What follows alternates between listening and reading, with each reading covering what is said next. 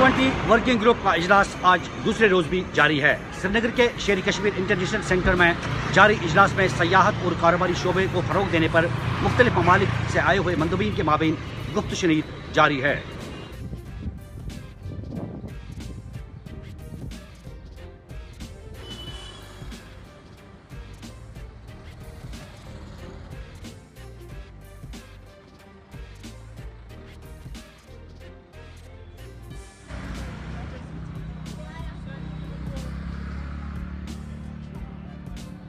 आ रहे हैं।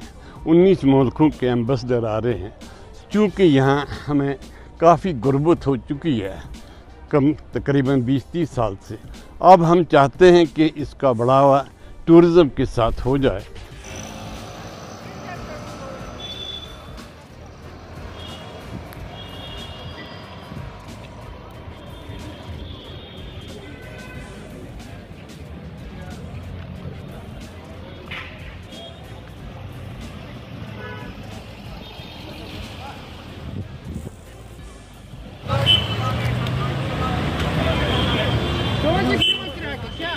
एक